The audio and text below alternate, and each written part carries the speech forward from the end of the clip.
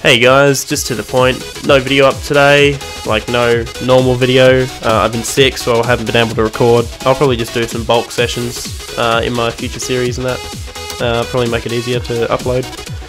But yeah, so I've been sick, no video up today.